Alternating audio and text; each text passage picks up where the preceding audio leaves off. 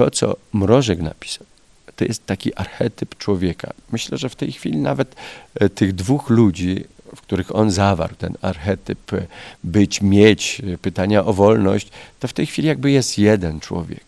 Ale my jeszcze klasycznie pytamy, właśnie tak jak Mrożek chciałby zapytać o tą wolność i przede wszystkim być czy mieć.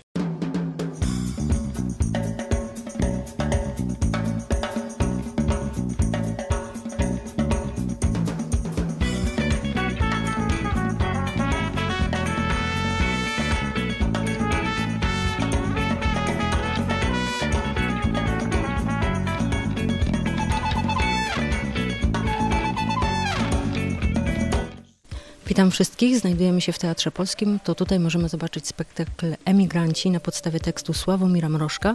E, reżyserią zajął się Piotr Cyrwus, ale on też jest tutaj na scenie.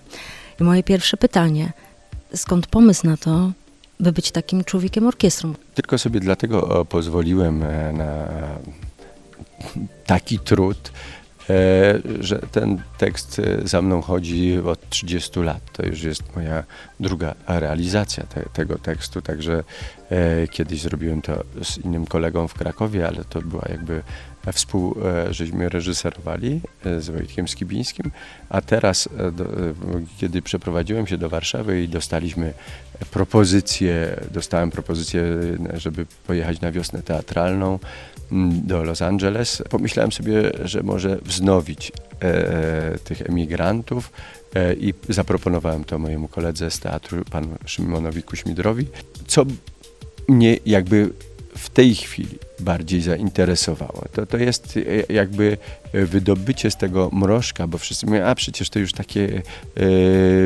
e, starodawne, to się przecież mrożek napisał to w 70 latach, kogo to interesuje, jeszcze to tak bardzo politycznie.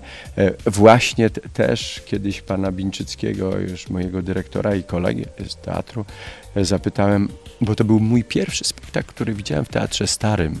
E, jeszcze byłem w liceum w Nowym Targu, pojechałem z kolegą i to był właśnie Sławomir Mrożek, y, emigranci na scenie kameralnej.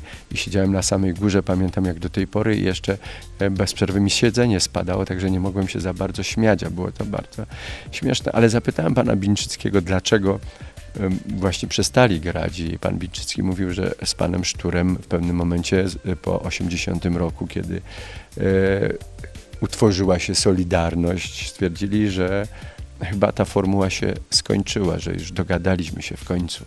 Ci chłoporobotnicy z inteligencją i tak już będzie fajnie i ta solidarność, że nie wypadało grać tych emigrantów i jątrzyć naszymi e, właśnie e, jakimiś e, podziałami.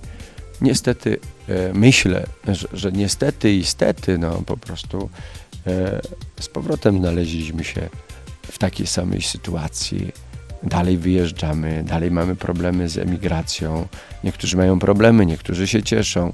E, dalej jesteśmy narodem, który lubi emigrować i, i czasem musi, czasem nie musi, ale lubimy jechać do lepszego. Nie chcę teraz mówić o, o kontekście politycznym, bo to mnie nie interesuje. Mnie e, bardziej w mrożku interesuje człowiek i to chcę uwypuklić w swojej sztuce. Ten człowiek, który stawia sobie te pytania, zmaga się ze swoim dramatem życia, e, który właśnie nawet już przekroczył e, tą polityczność, już nie jest uwikłany e, właśnie